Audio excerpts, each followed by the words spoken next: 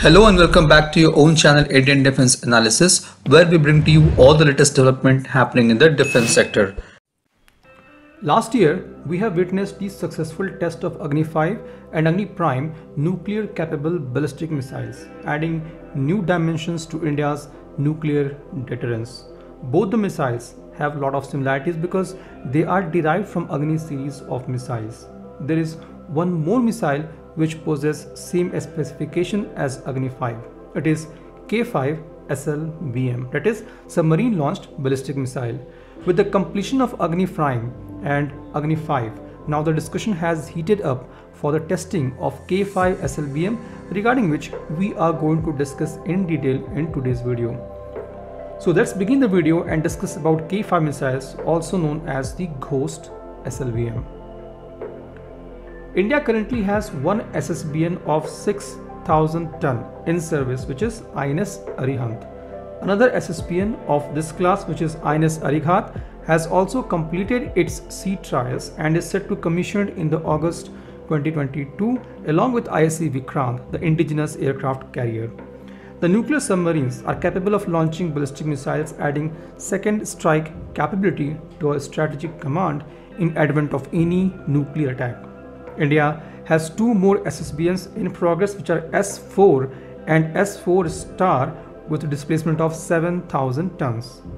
S4 was launched in November 2021 and is undergoing the sea trials and it is set to be commissioned by 2024.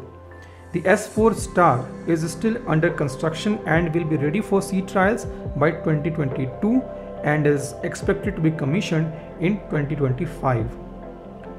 The S4 and S4 star SSBNs are having 1000 ton displacement more than Arihant and Arighat. S4 is an extended Arihant class design that has twice the weapons carrying capability than Arihant class. S4 can carry 8 K4 SLBM with a range of 3500 km or 24 K15 SLBM with a range over 800 km in its 8 vertical launch tubes. S4 and S4 star will be the SSBMs which will be getting most of the K4 and K5 SLBM missiles while Arihant and Arighat will be limited to K15 SLBMs. K5 SLBM is a new missile which is yet to be tested and reportedly has a range of 5000 km or more. DRDO has already got approvals to design and develop K6 SLBM which have even greater range than K5 SLBM and is expected to be around 8000 kilometers. It will be also capable of carrying multiple warhead or MIRV capable warhead. These missiles will arm S5 class nuclear ballistic submarines which India plans to construct after the completion of S4 star. It is expected to start construction by 2022. S5 will weigh around twice as much as preceding Arihant class submarine. The S5 class of submarines will weigh around 13,500 tons. They are planned to be armed with up to 12 to 16 K6 submarine launched ballistic missiles, each armed with multiple independently targetable re-entry vehicles or MIRV warhead. Since the sea trials of S4 SSBN has started, it is also expected that K5 will be tested somewhere around the mid of 2022. It's also evident that the test of Agni 5 which has MIRV is possible to test Agni 5 with some key technologies that would be used in K5 missiles. Since S4 submarine has left the dry docks, the test of K5 missile is very very imminent. Now talking about K5 SLBM, it is a submarine launched ballistic missile capable of carrying warheads up to 2 tons.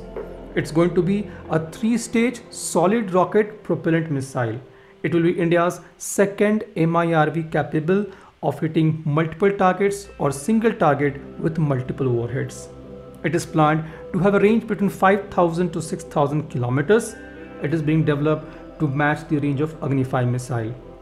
The K5 missiles will also feature countermeasures to avoid radar detection and will be the fastest missile in its class making it an indispensable weapon. The development of K-5 missile started back in 2015. Back on October 2020, it was reported that the missile is currently under development and is expected to be tested by 2022.